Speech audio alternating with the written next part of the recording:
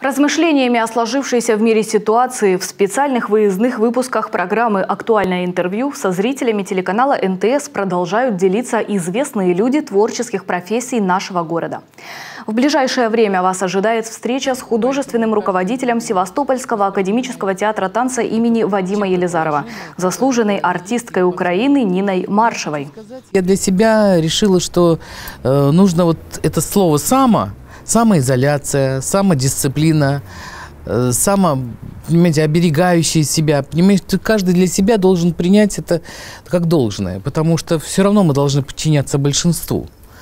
И тот, э, допустим, то, то положение сейчас людей, что ты можешь выйти и кого-то заразить или подхватить от кого-то, это, конечно, людей должно обязывать и дисциплинировать. По мнению Нины Маршевой, возникший в мире кризис неизбежно приведет к переоценке многих жизненных ценностей, в частности, у жителей нашей страны. Как я говорю, у нас у русских нет берегов. Но они должны быть, понимаете, должна быть дипломатия, должна быть сдержанность.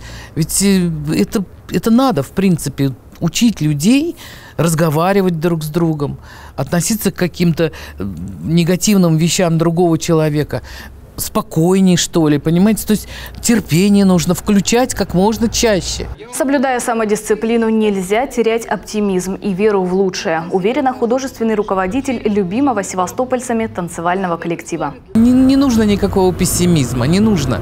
В этой жизни может быть не, даже не такое, это еще не горе. Это не горе. Никто сказал, что вся жизнь – это веселка. Нет, бывают и такие времена. Поэтому дай Бог всем здоровья и будьте здоровы. Беседу с Ниной Маршевой смотрите в ближайшем выпуске программы «Актуальное интервью».